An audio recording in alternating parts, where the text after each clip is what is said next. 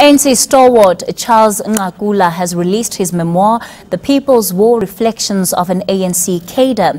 The launch was held in Cape Town last night with many dignitaries in attendance. The veteran used the occasion to call for open debate about issues facing the governing party. All of you here who have not started to write the South African story, please do so. Thank you very much.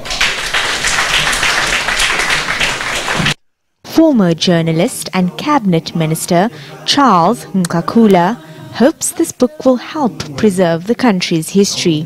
There are many things that we need to talk about as revolutionaries these days. Maybe we need to do what they are doing in Algeria. In Algeria, they have a department that it's they call it the Department of History. There are many comrades who work there. They are producing written material on the struggle.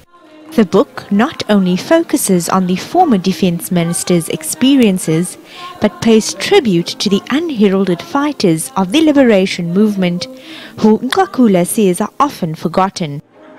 The book not only focuses on the former defense minister's experiences, but pays tribute to the unheralded fighters of the liberation movement, who Nqakula says are often forgotten. In a pre-recorded video, the ANC veteran urged the party to engage in self-reflection. One of the most important elements of an organization like the ANC was freedom to criticize self criticize, but in the end, find common ground so that we march together forward.